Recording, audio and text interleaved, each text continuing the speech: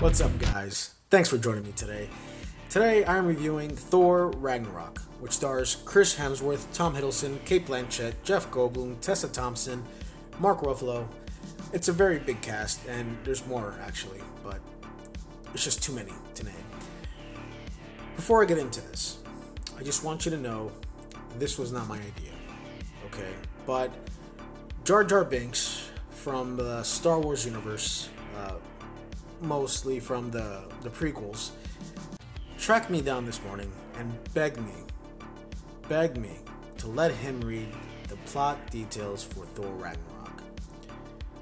I was gonna say no, but you don't understand. Uh, once this guy begs, it's it's just not a pretty sight. It's very annoying. He just won't stop.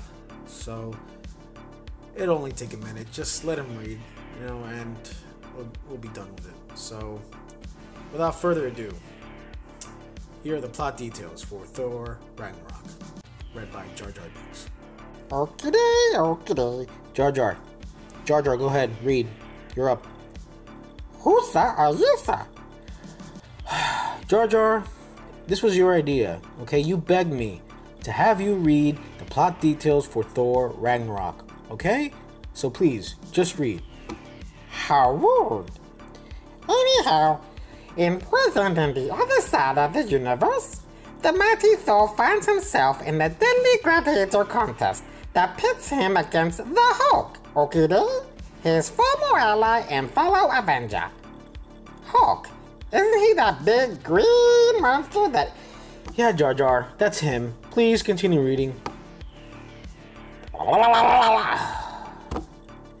Anyhow, Thor's quest for survival leads him in a race against time to prevent an all-powerful Hela from destroying his homeworld and Asgardian civilization. Much like Naboo. No, it's nothing like Naboo. Annie Bobini, what's happened to you? I'm not Annie. Oh, uh, okay, you're done. Bye. Ah! I'm sorry, guys. I really am. I apologize. But it's over and done with. Now we can talk about Thor Ragnarok. Now, before I get into this review, I want you to know this is going to be a spoiler review. I know I don't do much of these, but I felt this movie was important to talk about with spoilers because I was disappointed in this movie. I know, I know, I'm in the minority here, but I'm gonna talk about it. I'm gonna lay out the things, my reasoning why I find this movie to be very overrated, and I don't understand why it has a 93% in Rotten Tomatoes. I am finding a hard time with this movie, and you know, and its rating when it comes to most people and the way it's being looked at as if one of the best Marvel movies, if not the best Marvel movie that has been made. It's confusing to me because I didn't see it. But I'm gonna get into that. So uh, let's talk about the characters in the movie. Chris Hemsworth returns as Thor, the God of Thunder, and he's great.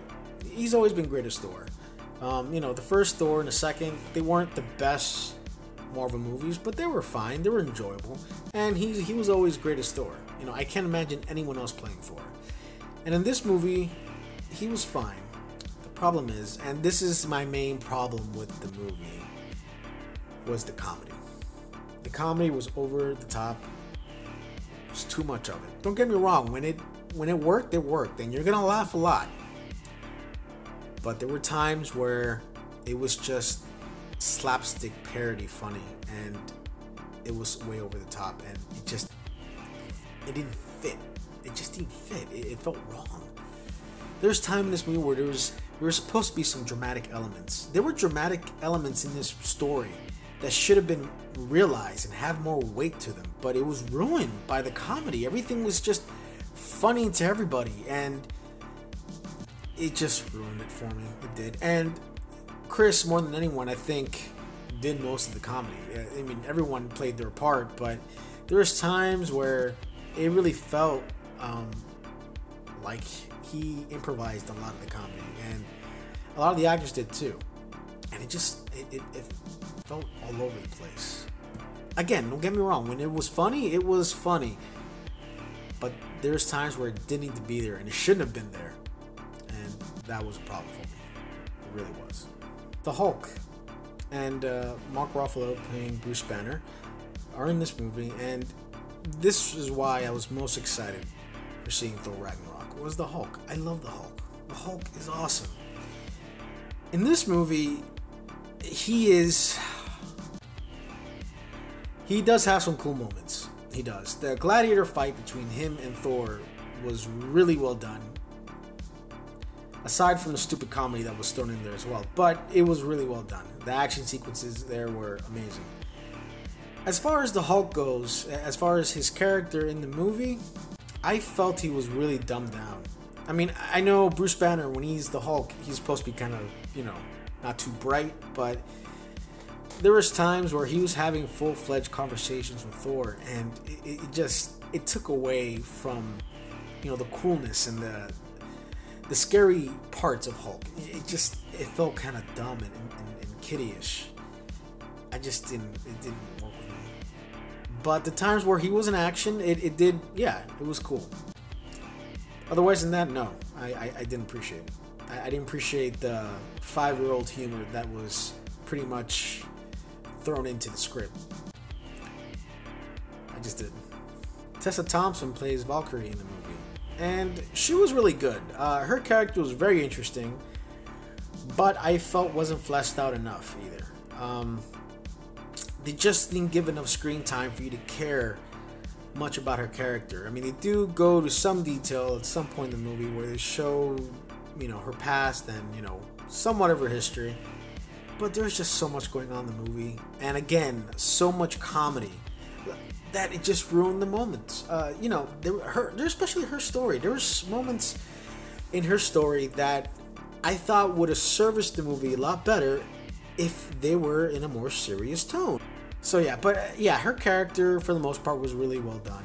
And uh, you know, if there's any future installments with her character in it, I'm sure it will be great. I just hope it's handled a lot better. But yeah, she she did good. All right, now let's talk about the villains for a second. Jeff Goldblum as the Grand Master, I thought did a great job. Jeff Goldblum was brought in to do Jeff Goldblum, and I was fine with it because it it made sense, and his comedy in the movie worked. I had no problems with the comedy in the movie when it came to him because that's what he was brought in to do, and it worked. He was great in the movie, have no complaints, and I really can't wait to see him in future installments in Marvel movies if, you know, his character is written for a future Thor movie or Avengers or whatnot, who knows, but I thought he was great.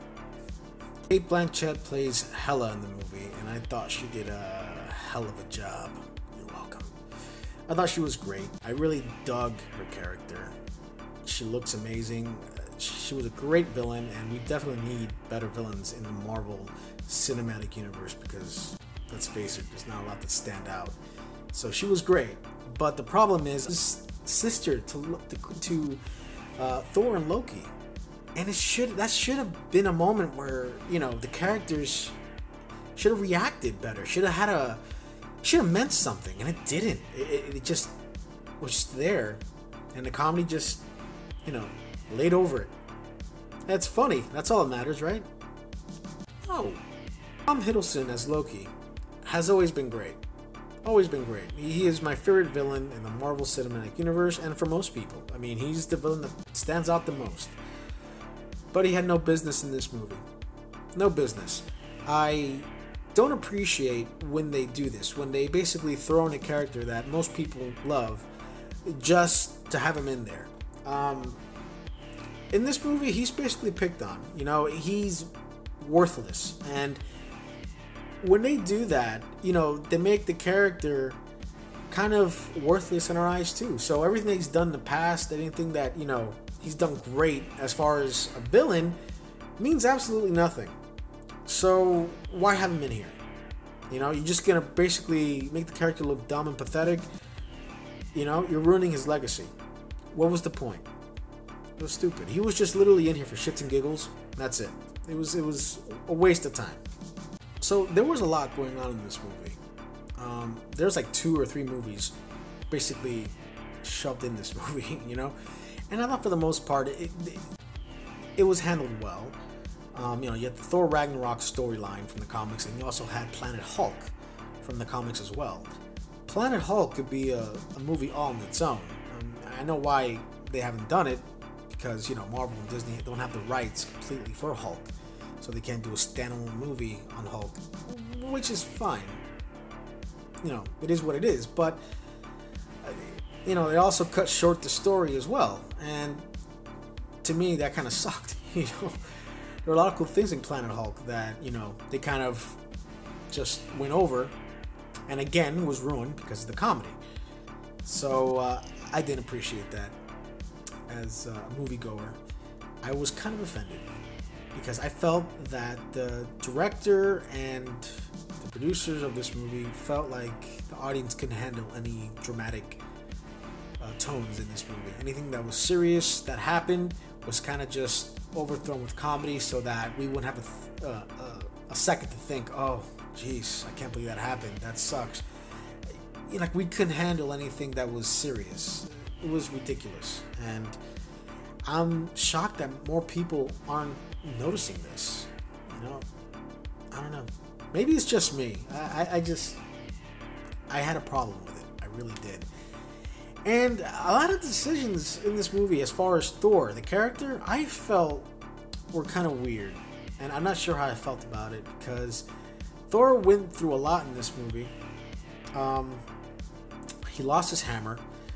The hammer that makes him who he is. I mean, he's known for that hammer. It's like Captain America, you know, uh, losing his shield and it, it, breaks and that's it. It's just it, it's awkward that we're never and well maybe never. We might see that you know the hammer again in future installments, but as of now, it pretty much looks like that's it. He doesn't have the hammer anymore, which just feels weird.